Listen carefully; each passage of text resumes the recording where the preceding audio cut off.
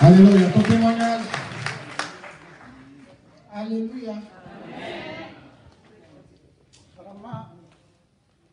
Mon témoignage, dimanche passé, il y avait, je, je, euh, avant dimanche passé, je mangeais et il y avait piquant qui m'a pris par la gorge. Donc, euh, je ne pouvais même pas parler, je ne pouvais, pas, je pouvais rien faire. Et j'ai marché doucement le dimanche passé, je suis venu. J'étais assise là-bas, je faisais comme s'il n'y avait rien. Et quand le culte est fini, je suis parti voir papa. Puis j'ai expliqué à papa. Il a prié pour moi. Quand je suis sorti net, le piquant est sorti. Amen. Madame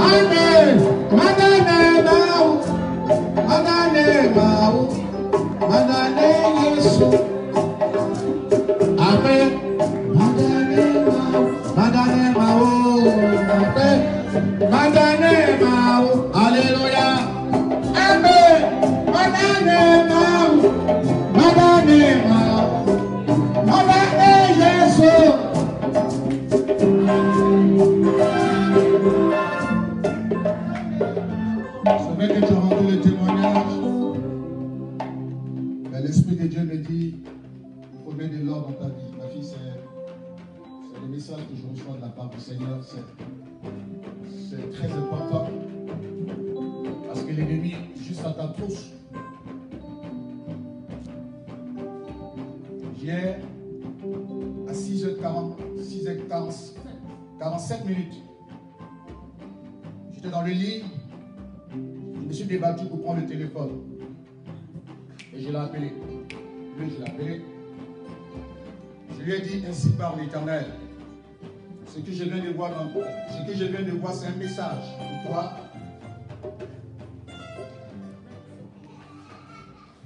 Il faut dire à Geneviève de ne pas voyager. Est-ce qu'elle voyage? Elle dit oui. J'ai dit, si elle voyage, il dit oui, elle voyage aujourd'hui. Tu ne m'avais pas dit que tu voyageais. Mais j'ai vu que tu as voyagé et tu étais mort dans l'accident. Et donc, du coup, il a dit, mais effectivement, elle voyage. Elle doit voyager. Et donc, je lui ai dit, dis-lui d'annuler ce voyage. Parce que la sorcellerie, c'est l'idée qui s'est levée pour nuire à sa vie. Et en même temps, je te parle, es ma fille. Peut-être qu'il y a des choses qu'on va se dire nous deux, toi et moi. Il faut mettre de l'ordre dans ta vie. Il y a trop de désordre dans ta vie spirituelle. Il y a certaines choses sur lesquelles je ne peux pas revenir parce que c'est ta vie privée. Sinon, je ne vais même pas le dire maintenant, mais de toi à moi, mets de l'ordre. Il y a tellement de désordre dans ta vie et que le diable est en train d'agir. Et également, j'ai parlé aux frères. Je dis, j'ai un message très fort pour toi. Je suis prophète de l'éternel.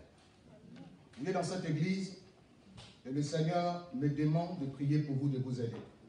Je vois que cette journée-là, je t'ai dit quelle heure? J'ai dit 11h30. Paf. Et le frère me dit, il venait à peine de se réveiller quand il méditait sur un rêve.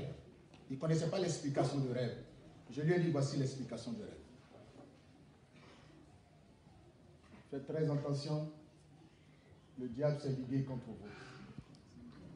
Amen. Il y a des choses qu'on peut-être qu'on va se dire sans privé, mais faites très attention. Amen. C'est vrai que tu as rendu le témoignage, mais il faut t'engager, mettre ta vie en règle vis-à-vis de Jésus. D'accord?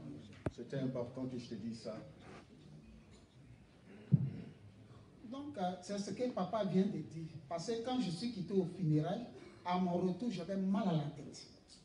Je ne savais pas quoi faire. Ah, ah, ça me faisait très mal. Et puis, je suis parti à la maison chez une nièce. C'est comme ça mon mari m'a appelé. Et puis, il m'a- il m'a- dit qu'il ne faut pas, je vais voyager. Il dit, ah, tout à l'heure, quand je venais, ma tête me faisait mal. Mon cerveau m'avait sorti même. Je, je ne comprends pas. Et quand il m'a expliqué, il a dit, papa dit, il ne faut pas tu vas voyager. Si tu voyages, ce n'est pas bon pour toi.